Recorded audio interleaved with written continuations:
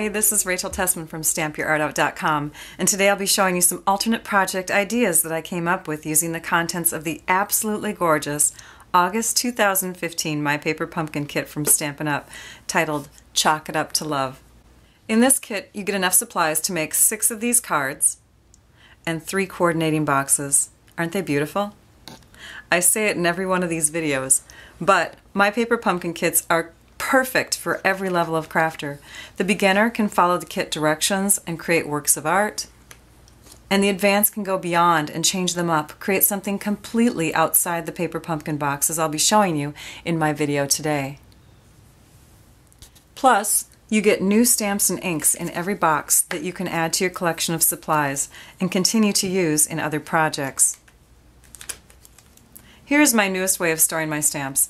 This idea was shared by Connie Stewart in the Paper Pumpkin Fan Club group on Facebook. It's in a Project Life mini album. Don't you just love it? Stampin' Up! includes everything that you'll need in these fabulous reddish-orange boxes.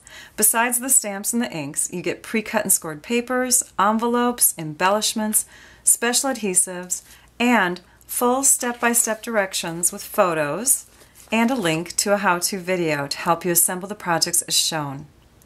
Lots of product at only $19.95 per month. These kits are so affordable. Plus, I love the surprise. It's like getting a birthday gift in my mailbox each and every month. And it gets even better because right now through September 10th, new subscribers can get their first two months at 50% off. Remember to enter the promo code half off all in capital letters. Do you have a busy life? No problem. It's a small box and everything you need is inside. You can take it with you and create on the run, in the car, on a plane, at your kid's baseball game, even while camping. Are you a subscriber and have extra kits that you haven't made time for yet? Well, they make perfect gifts. I gave one to a friend who was in the hospital and she loved it. But really, they only take about 30 minutes, so set aside some time for yourself and have fun. You deserve it. Not a subscriber yet? You'll want to be after checking out what can be created with these very affordable kits. I'm excited to share my alternate ideas, so let's get started. Keep in mind, most of the extra tools that I use in this video can be purchased from me in my online store.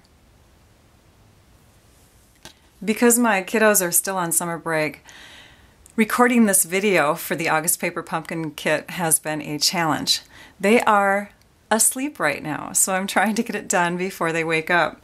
Um, so for because of that, I will only have one video for this month's kit, but I have so many projects to share, and I'm going to see how many I can fit in the video, and then the rest of them I'll be sharing on my blog.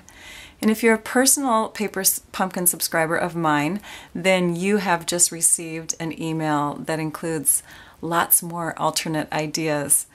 Um, I hope you enjoyed those. So our first project that we're going to do on the video is a Project Life layout. I've got my Project Life page protector. This is layout number one. And they do have little number, um, yep, little numbers on the bottom here. This is layout number one, um, but you could really use any of the layouts. The pieces are going to be four by three and four by six. I'm also going to use our new archival basic black stamp pad which just got released in our holiday catalog. I love it. It's um, perfect. A one inch punch, a circle punch, the basic black cardstock and I'll be using the 12 by 12 because I'll also use that in my um, in my traditional pages that I won't have on this video, but I will share on my blog. And then my subscribers last month received an extra gift in the mail. They received this designer gold vellum and some gold sequin trim. So I'll be using those. And you can purchase those, all of these items, in my online store. Three other basic tools that I use in all my videos are the Stampin' Trimmer, the snail adhesive, and the paper snips, So you'll want to get your hands on those as well. The first thing that I'm going to do is I'm going to cut down one of the boxes. I've already trimmed the side with my snips. And then I'm going to take and place it into my Stampin' Trimmer and cut it at six inches. And then I want to get a four inch piece out of here. So you can either chop off the ends down here or you can do it up on top. It really doesn't matter. We will have some score lines that appear in here, but they won't be so noticeable once the project page gets put together. And then we'll also do the same with this piece. We're going to make it 4 by 6 These are note card size cards, so they're a little bit smaller than your normal average card. So you have to use pretty much one whole card to get that piece, but it's worth it. It's worth it for scrapbooking. Okay, then I've already taken some of the pieces and placed them inside. I cut one of the cards down, um, one half of it down to 3 by 4 to slip into this pocket. Don't you love this paper? I don't know if you can see that on the on the video, but it's kind of an ombre look. So it's a slightly darker pink down here and it gets lighter. I have really bad lighting because I am trying to film this in the wee hours of the morning, as I just mentioned. So this piece will slip down in here, this one up in here, we're going to use this sequin trim and we're going to separate out a bunch of these little circles. You just pull them off of one end. And those become fun embellishments. Now, I don't know if you've seen Project Life pages before, but they are pocket pages. They are a very quick and affordable way to scrapbook. Um, and so a lot of people like to put little fun things and slip them into the pockets and then those those sequins or those um, fun beads or glitter or whatever just kind of float around the photos. Kind of a fun look. The vellum, by the way, is also a great way to accent a photo. You could slip a photo behind here if you wanted something um, to have some fun um, decoration on top as well that kind of sits in place. So a photo behind the vellum works. These flowers that come in the kit, we're not going to curl up because we want them to lie flat and we're going to add them to the bottom pocket here. We're also going to do some stamping, so I'm going to stamp using our black ink onto the flowers to give them a fun look. Place a little fun center uh, piece of cardstock in there. And then we'll decorate up this piece up here um, also with our label. Oh, I love the chalkboard labels that come in here and our white ink and one of our pink banners. And we'll add some black cardstock here. I'll be right back. As I'm stamping these pieces off camera, I'm realizing that there's there's something that I always forget to mention. I use the Stampin' Mist Cleaner and the Stampin' Scrub to clean off my stamps. This is something that you can purchase in our online store. You can also use a damp washcloth, but we're working with some permanent inks now. This black is a archival permanent ink, and when I cleaned it off, it stains. So that's like, oh, reminder to remind them about the, the Stampin' Mist. Now it won't get it completely clean. You're gonna have some staining with the photopolymer stamps just because they're much more porous than the traditional rubber. So you're gonna have staining, just you're gonna have to deal with that. the block that you get with your first kit is this block here. It's the acrylic D block. Now it's the same size as the one that we sell in our catalog, but it's a lot thinner. So you may want to invest in a more ergonomic, more comfortable block as you get into your crafting. But this totally will do just fine. And if you forget your block and you take your kit somewhere, um, I've heard of people using the bottom of glasses or anything flat. You could even use the top of your stamp pad or your Stampin' Spot to um, put your put your stamps on to use them. Remember when I said I wasn't going to curl the flowers? Well, I lied. um, I'm going to use our bone folder tool and just show you quickly how to do that. So you just put your thumb against this part and put the paper between and you can give your flower petals a curl. Now if you don't have a bone folder you can use a pencil. Anything that's rounded um, would work. Anything that has a, a, a nice soft edge like a the, the other opposite side of a butter knife would work. Um, anyways, that's how I got the little petals to curl on this flower piece here. You also want to keep in mind that this ink is a pigment ink, so it takes a little bit longer to dry. You could use a heat tool to heat it and dry it quicker, or you can just let it sit out. All right, I've also put some dimensionals on the back of this piece, and it's going to be layered here. This gold strip, golden vanilla strip, I got from the remainder of the card piece here that I didn't use. And then the leaves. The leaves are easy to do, so easy. What you'll do is you'll take your scrap cardstock You'll punch out a circle and then you'll slip it back into the punch, but not all the way. You'll just place it in there just so far, punch it again, you get two pieces. You get like a little half moon piece, and then you get your petal that looks like a, a, a leaf. And ta-da! Here's the finished page. I love it. Let me show you quickly how I did this Love You. So these are the stamps I used. And this stamp here, here it is, has the word with the words with love. That one here. And then this one has for you. Um, that one there. So I took and just inked up half of the U, or half of this word stamp to, to ink up the U, stamped the U down, and then I did the same thing with love and stamped it just to the left of it. I'm going to walk you through just a couple steps for making this flower that you see on the boxes here. And um, you'll need a pencil, like it shows in the directions, or a bone folder. And my preference is a bone folder because I'm used to it. But you have three flowers here, and you're going to be curling them inward. So you flip them over and you just curl the petals in like this. But I'm going to give you a tip here. If you want your petals to go even further in or look like a fuller flower, then you're going to use your paper snips and you're going to cut into each petal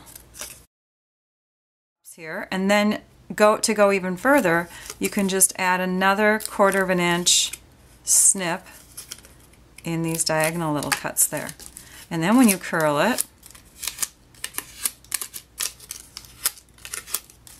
you can see how you can get it to look even fuller than what I had before. So we're going to do that with a couple of flowers here and layer them. And you'll layer the flowers with dimensionals, these things right here. This is how you can get a smaller, fuller looking flower. And again, if you add the third flower underneath, you have a wider flower, but we're going to make a tinier one. Let's just set that aside for a minute and I'm going to show you how to do the center of the flower.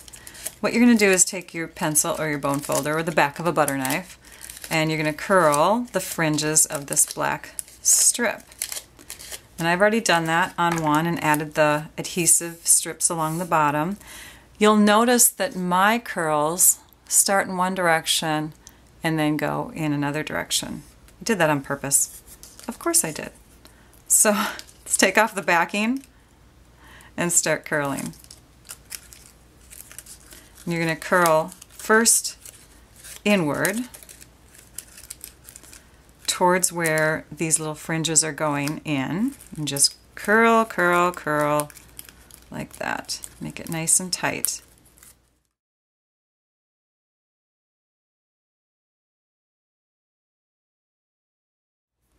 And I don't know if you noticed, but I kept that bottom um, edge the same all the way around so that it did not get kitty wampus on me.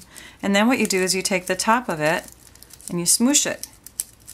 Just push it down, push it in, and the petals that were in the center will curl inward and the petals that came on the outside will curl outward.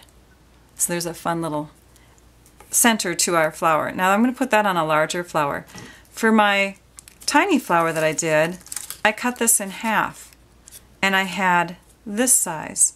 I didn't have any of the little pieces that went outward. I just went inward with all of them. And again, the same thing. Add a dimensional to the bottom. Give it a good press. And add that to the center of our flower and smush it in. We're going to add this one to the center of a larger flower.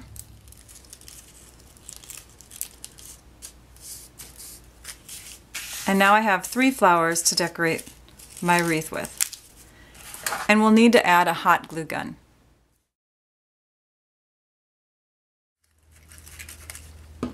Like my hot glue gun? I planned that. no, I did not. I just happen to have the same color pink hot glue gun. But that's how you do the wreath bottom. Now we're going to add a bow at the top of the wreath.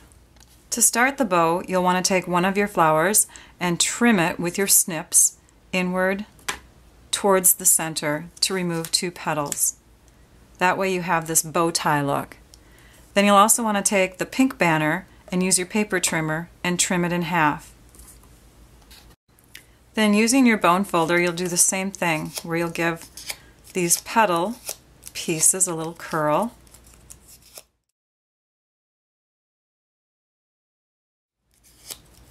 And then we're going to use dimensionals and we're going to add these two petals just underneath the ends of the bow tie.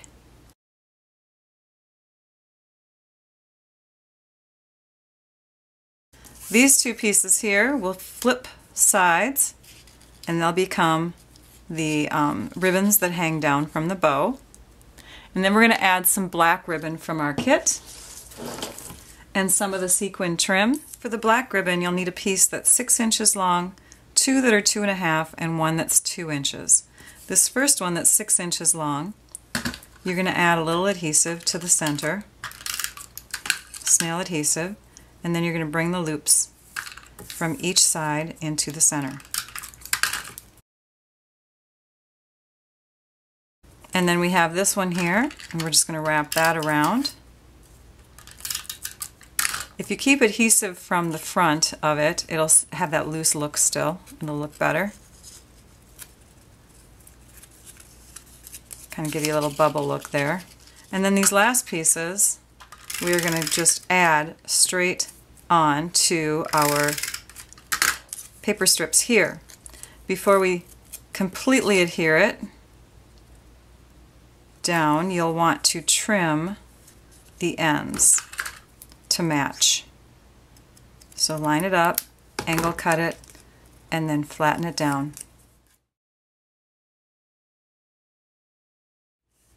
And the last step is we're going to stick these here and we're going to add it to the front of our wreath with the hot glue gun.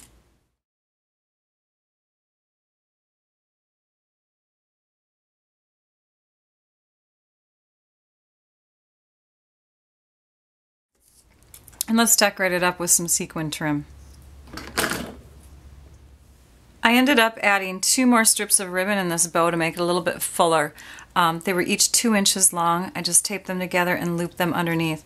Thank goodness I didn't tape this front part of the middle down so I could just slip them right under there. Little hint with the ribbon, um, my friend Debbie Henderson shared this with me. You just take your flat iron and you run it through, the ribbon through it, and it will take a lot of the kinks out of the ribbon. So I did that. And you want to be careful though because um, you don't want to burn the ribbons. So another thing that I added to the wreath was a few of these um, little sequins and I just put them on with the glue dots that I've had from past paper pumpkin kits. So just kind of spattered them all over there. And there is our wreath. Pretty! Next three ideas are great for back to school. First we're going to take one of the boxes and assemble it.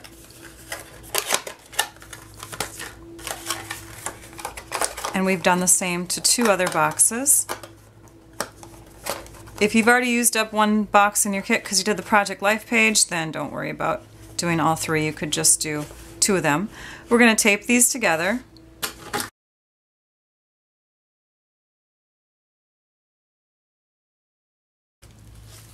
And then I have about 38 inches of ribbon here.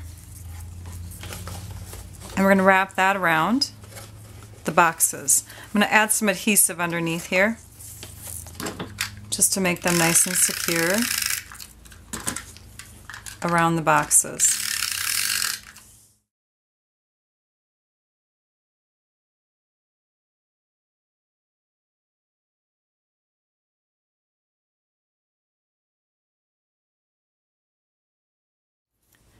Now a fun idea I had is to put these little half moon pieces that we had from our our Project Life page onto them and those can be drawer handles or they can become locker um, opening little locker open parts, the locks, and you can stand it up that way.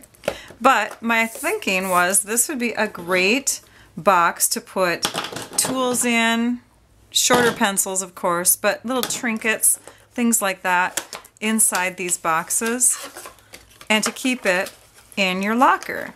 So now we're going to make some locker accessories.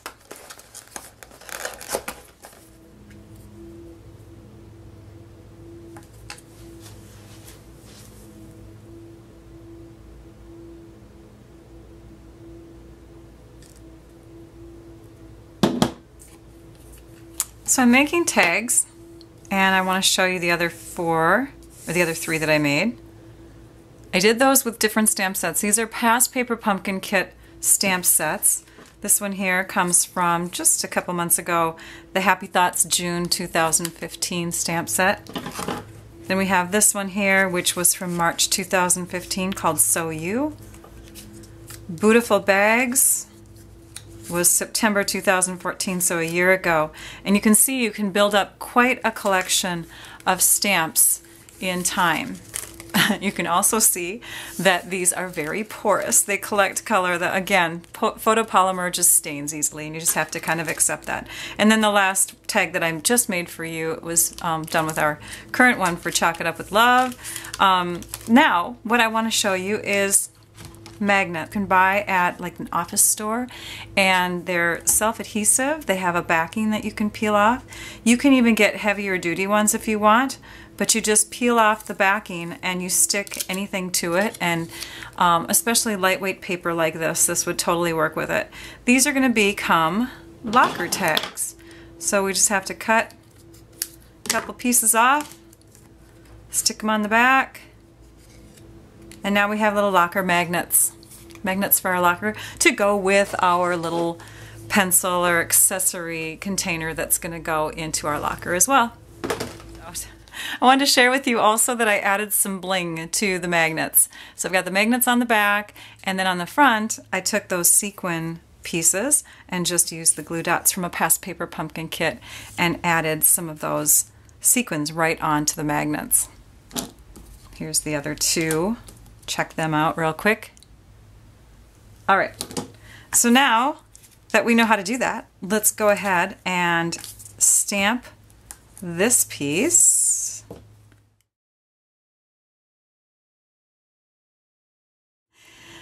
All right, and then the next one. Yes, I have the luxury of a couple blocks here. You can totally invest in more blocks if you'd like to. I have an online store. All right, so this is going to become a bookmark. Let's take another glue dot, add that to the edge here, peel off the backing, and add our sequin. After this dries, we're going to layer it onto all of these pieces and we're creating a bookmark. I'm going to um, angle cut, uh, make a little banner or a V-cut here and on the other end of the ribbon. And this will be a bookmark that just, you can just slip right into a book. All right, and here is the back to school ensemble, the bookmark, the magnets, and the little fun box that sits in your locker and holds fun doodads. and you can either look at it as lockers or as drawers. Fun stuff. All right, um, I have to tell you that during the middle of this video, my kids did wake up and they are now outside playing. So I have to stop recording. I can't do any more um, projects on this video, but let me share with you what I made and then tell you what other ideas I have that I will be sharing um, on my blog in photos. So here's the Project Life page that we did, and of course, the wreath. Now, I'm a card maker, so there's going to be card ideas too. In fact, there's card ideas everywhere. Lots of people are um, doing fun ideas with this kit. Um, you can find them on Pinterest. You can go to Facebook and join the Facebook um, Paper Pumpkin fan club and see lots of alternate ideas as well. So I encourage you to do that but um, also come back to my website, stampyourartout.com, and see all the fun ideas um, in addition to the ones that I showed. I'm going to do 12 by 12 traditional pages, I'm going to do cards, I even have a string of lights that I'm going to decorate up. So please visit back. Thank you for watching. It builds creativity to think outside the box. Be sure to go to my YouTube channel and subscribe so that you can catch more Paper Pumpkin videos that I've shared using past kits and more that I'll share with future kits. Also, be sure to visit my blog at stampyourartout.com so you can view close-up photos of these projects and to see photos of other Paper Pumpkin kit ideas. Oh, and to see some exclusive project ideas, get your Paper Pumpkin subscription started with me as your demonstrator.